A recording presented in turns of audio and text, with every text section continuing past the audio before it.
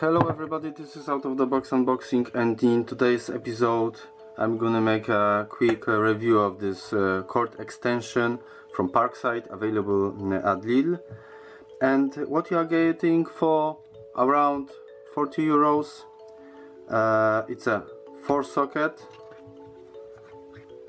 extension, cord extension with a, uh, with a cable length of 25 meters. Uh, everything is I would say solid rigid. Uh, it has a limit up to uh, three and a half um, thousand uh, watts.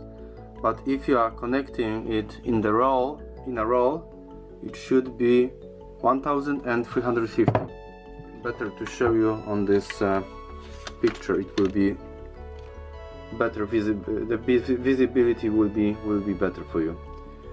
So yes. Um, what I do like what I don't like about this uh, cord extension um, first of all everything seems to be made uh, nicely. It has a splash uh, it, it's a it's a splash proof.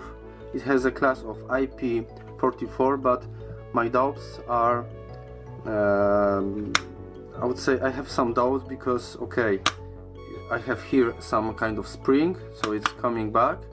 But I would like to have some kind of uh, rubber gasket because um, you know if you let it uh, if you leave it uh, uh outside things can can happen. So yeah. Uh, what else? It has a quite I would say nice feature to, to keep it in order but I would rather ex expect to have it uh, not on the not on cord because as you can see it's it's in some way mounted to uh, and by the way there is a handbrake here see? With this handbrake you cannot or you should not. One moment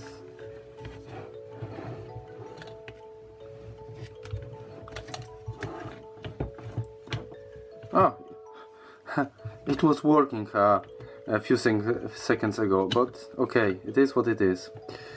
Uh, so, so it doesn't have a handbrake, uh, and this, let's say, order lockage. It it could be mounted on the side. It would be better. What else? Simple as hell.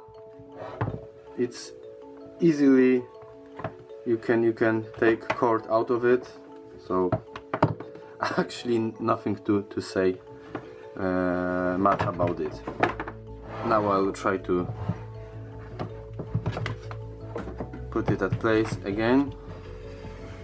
In place.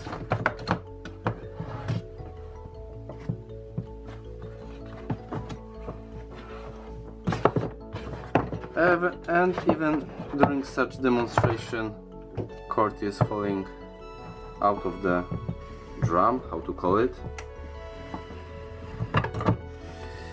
And yes. And actually that's all folks.